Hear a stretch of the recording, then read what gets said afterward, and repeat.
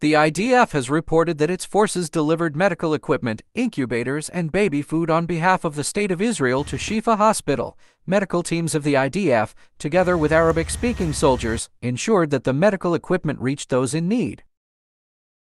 Medical teams of the IDF, together with Arabic speaking soldiers, are present in the field to make sure that the medical equipment reaches those who need it.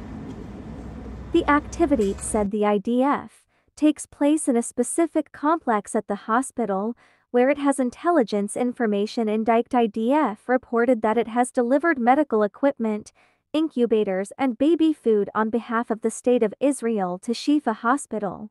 According to reports medical teams of the IDF, together with Arabic-speaking soldiers ensured that the medical equipment reached those in need.